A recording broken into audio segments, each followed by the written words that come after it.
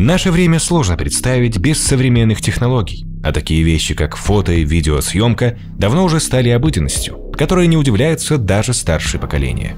Зачастую мы используем эти приспособления, чтобы запечатлеть момент своей жизни или же просто для веселья. Но порой линза нашей камеры успевает снять не совсем приятные вещи.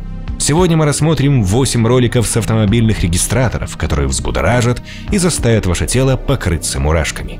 Итак, юные детективы, начнем же!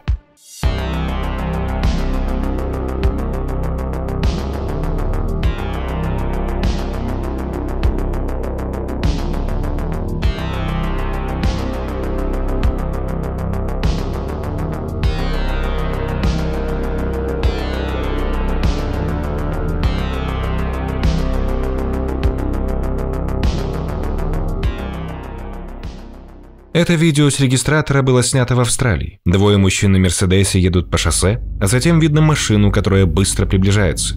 Затем водитель обгоняет парней и явно пытается сбить их с дороги. То, что сначала можно было списать на дорожную ярость, вскоре принимает более серьезный и тревожный поворот. Мужчины замечают, что у водителя топор. Он размахивает им из своего окна и угрожает. У него есть топор, чувак. Что ты делаешь? Oh, Соблюдай расстояние, братан. Внезапная и неожиданная встреча заставляет мужчин быстро развернуться, чтобы избежать погони. Но мужчина продолжает их преследовать. Ситуация усугубляется, когда они используют следующий съезд и приближаются к кольцу.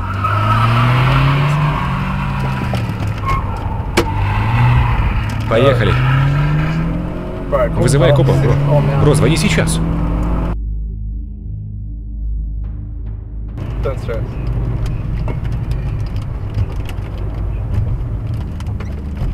Oh! Продолжай ехать. Holy fuck! Чувак, вызывай копов. Yeah, yeah, yeah.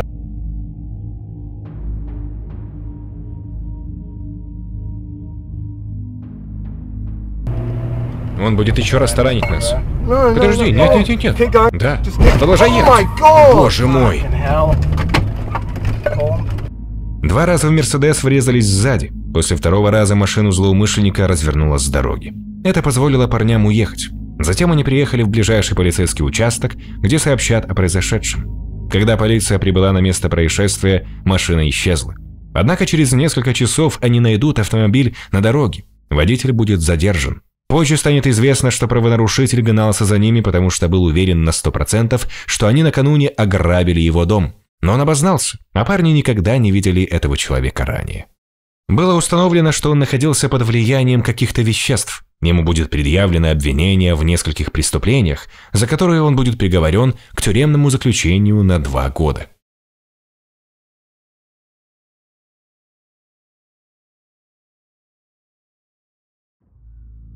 В августе 2018-го Джастин Билтон и его 70-летний отец Чарли взяли на прокат машину и отправились в путешествие в национальном парке Глейшер в США. Джастин и Чарли установили палатку в парке, а уже на следующий день узнали, что находятся практически в эпицентре огромного лесного пожара, который начался из-за удара молнии. Единственным путем к спасению была автомобильная дорога, которая уже была частично охвачена огнем. Но выхода не было, и отец с сыном на свой страх и риск отправились в неизвестность. Свое эпическое путешествие они снимали на камеру телефона. И это пугающие кадры. Как мы это сделаем? Сейчас мы это узнаем. Я думаю, что мы сможем проехать через это. Что? Папа, что если машина взорвется? Тогда мы умрем. Папа, это безумие. Я знаю. Мы не хотим попасть в ловушку здесь. Легче, легче, все в порядке, мы в порядке. Помедленнее, здесь большая яма, снизь скорость. Мы выезжаем из этого огня. Мы еще не выехали, пап. Мы не выехали. Мы хотя бы в порядке. Что? Полегче, полегче, ты не видишь медленнее. Едь медленнее, полегче. Пап, машина нагревается, она может взорваться. Нет, все хорошо. Папа, если на нас упадет дерево, у нас все хорошо, медленнее. Господь Бог, помоги, пожалуйста. Ты справляешься, все нормально. Папа, мы не можем выйти. Я выхожу. Ты не можешь ехать назад. Я могу, нужно убрать это с дороги, у нас есть перчатки. О боже. Остановись. Пап, нужно выбираться отсюда. Видео прекратилось, когда посреди дороги Джастин и Чарли обнаружили упавшее дерево и решили его передвинуть. Им пришлось вернуться и ехать задним ходом. Как рассказал Билтон-младший журналистам, по горящей дороге они добрались до озера, где встретили работников национального парка. Вместе с ними они спасались на лодке, оставив машину на берегу. По словам Джастина, уже через 10-15 минут после того, как они отплыли, машину охватило огнем. Свое спасение мужчины называют настоящим чудом. И с этим трудно не согласиться. На этой записи с видеорегистратора видно вооруженное ограбление таксиста. Водитель Ральф Ролетта только что начал свою смену, и это была его первая поездка в тот день. Когда он был остановлен на светофоре, пассажир резко садится и требует отдать ему все, что у него есть. Отдай мне все, что у тебя есть, чувак. Это ограбление. Хорошо. Отдай мне все свои деньги. Парень, мне нету. Я только начал. Отдай мне все, что у тебя есть. Отдай сейчас же. Хорошо, хорошо. Что у тебя еще есть? Дай мне посмотреть твой кошелек. Дай мне посмотреть. Я только начал. У меня ничего нет в кошельке. Мы можем сделать это по-хорошему или по-плохому. Дай мне свой кошелек и телефон. Прямо сейчас, если ты не хочешь умереть. Хорошо? Хорошо. Отдай мне все сейчас же. Если присмотреться, то можно увидеть полицейскую машину на том же светофоре прямо за ними. В какой-то момент свет стал зеленым, но машина, в которой сидел Ральф, не поехала. Это насторожило полицейских, они включили фары и вышли на разведку. У меня ничего нету в кошельке. Я ничего не ношу там. Просто дай мне свой телефон и кошелек. Мне нужен твой кошелек. Нет, пожалуйста, не забирайте мой телефон. Мне нужен для... Там коп возле нас. В чем проблема? Я хочу увидеть ваши руки. Выйдите. Режьте на землю. Вы спасли мне жизнь, боже мой. Почти сразу офицер понял, что произошло ограбление. Преступник был арестован и позже обвинен в совершении нескольких преступлений.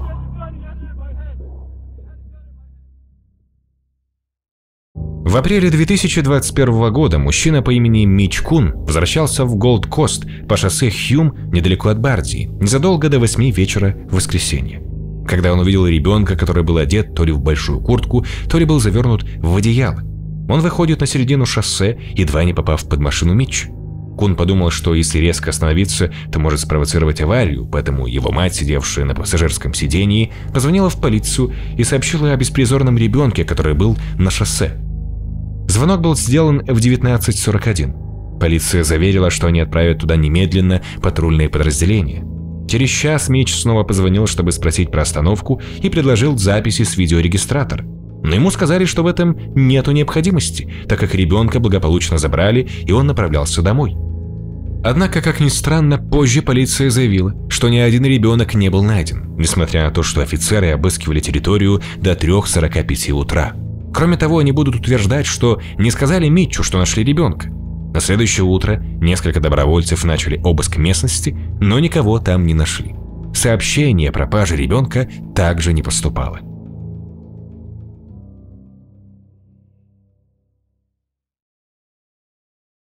Эти кадры с видеорегистратора были сняты на улицах Тайваня. Сразу видно, что съемка происходит в разгар бури. Сильный ветер разбрасывает обломки, в какой-то момент даже видно, как они пролетают мимо лобового стекла.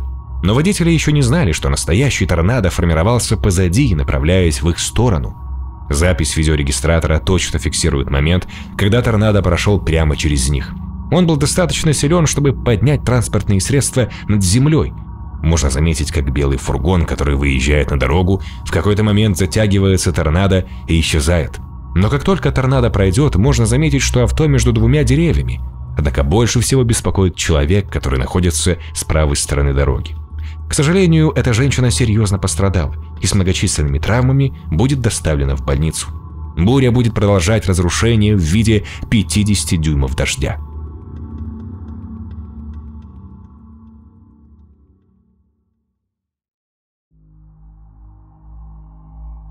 На этой записи с видеорегистратора видно, что водитель едет по пустынной и длинной грунтовой дороге. Впереди стоит машина, припаркованная таким образом, чтобы заблокировать движение. Двое мужчин с бейсбольными битами начинают идти к машине, и вот тогда становится ясно, что это грабеж. Водитель пытается уехать, но мужчины мешают и делают все возможное, чтобы помешать этому.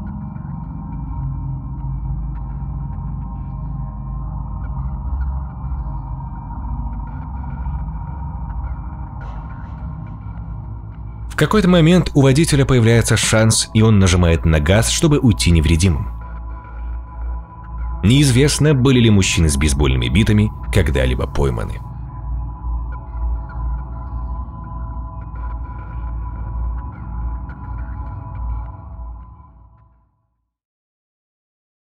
В конце ноября 2015 года в Южной Австралии вспыхнул крупный лесной пожар. Эта запись видеорегистратора была сделана одной из пожарных машин, прибывшей на место происшествия. В начале записи видны огромные облака дыма, показывающие, насколько большой был огонь. По мере того, как грузовики продолжают двигаться вперед, видимость постепенно ухудшается и становится настолько плохой, что пожарные вынуждены остановиться. Затем вдалеке можно заметить, как распространяется огонь и пугающе быстро приближается к ним. Вот оно, я слышу, оно приближается. Ник помедленней.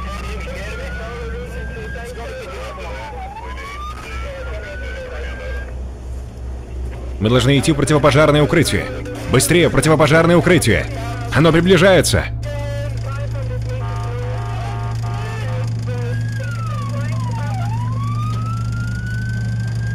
Противопожарное укрытие, Скотти. Оно приближается.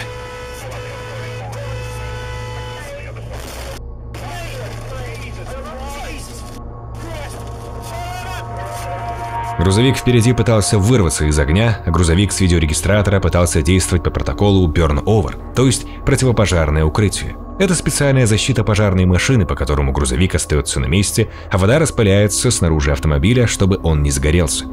Экипаж разворачивает специальные одеяла на липучке, чтобы защитить себя от жары и используют респираторы. Однако во время этого протокола у экипажа из грузовика впереди не было воды. Спинклерная система пожаротушения не работала должным образом.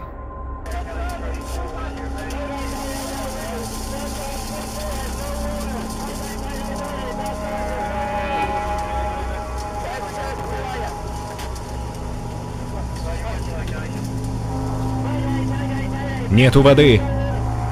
Они не смогли оставаться на месте и были вынуждены двигаться вперед в надежде спастись от огня. К счастью, это решение спасло их жизни. Все команды обошлись минимальными травмами.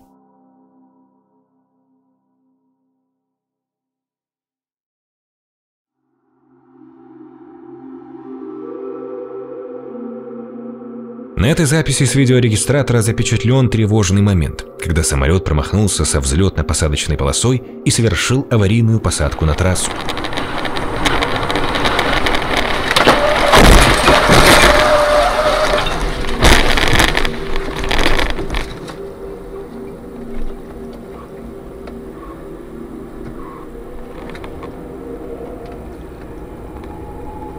Оказывается, самолет по ошибке пролетел мимо взлетной посадочной полосы из-за плохих погодных условий.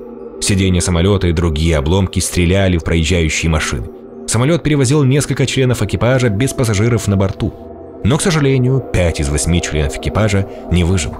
Водитель автомобиля с видеорегистратором выберется невредимым.